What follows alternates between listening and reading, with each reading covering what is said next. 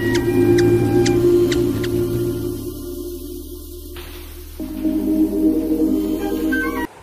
Students কেমন আছো তোমরা? I think you all must be fine at home পড়াশুনো কেমন চলছে? নিশ্চয়ই ভালো। আজ আমি তোমাদেরকে একটা গল্প শোনাতে এসেছি। চলো, শোনা যাক।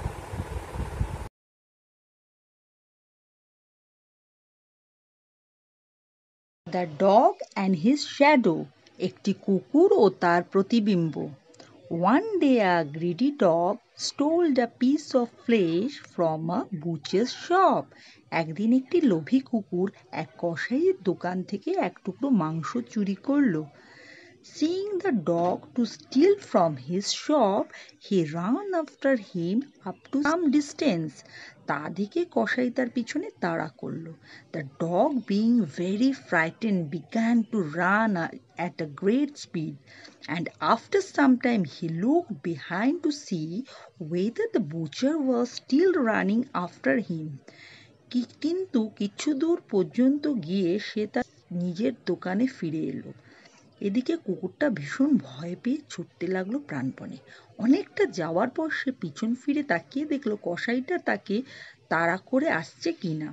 Seeing none to chase him he reduce his speed and began to cross the bridge holding the piece of flesh in his mouth কাউকে আসতে না দেখে সে তার গতি কমিয়ে দিয়ে ধীরে সুস্থে হাঁটতে লাগল। কিছুক্ষণ পর সে এসে পৌঁছালো একটা ছোট্ট নদীর কাছে।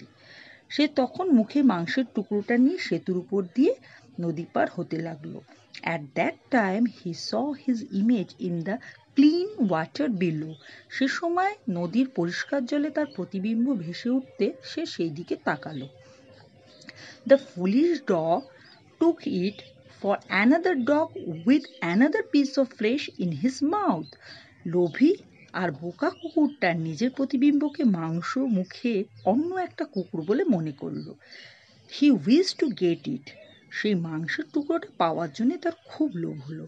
At once the dog jumped into the water and first flowed away by strong current সে এবার অন্য কিছু চিন্তাভাবনা না করে নদীর জলে ঝাঁপিয়ে পড়ল আর সঙ্গে সঙ্গে জলের স্রোতে তাকে ভাসিয়ে নিয়ে গেল। He lost his piece of flesh along with his own valuable life লোভী কুকুরটা মাংসের টুকরের সঙ্গে তার মূল্যবান প্রাণও হারালো। আশা করি তোমাদের ভালো লেগেছে। গল্পটা শুনে আমরা কি শিখলাম বলো তো? Moral of the story too much greed ruins a person very soon অতিরিক্ত লোভ মানুষের সর্বনাশের কারণ। মন দিয়ে পড়াশুনো করো, ভালো থেকো।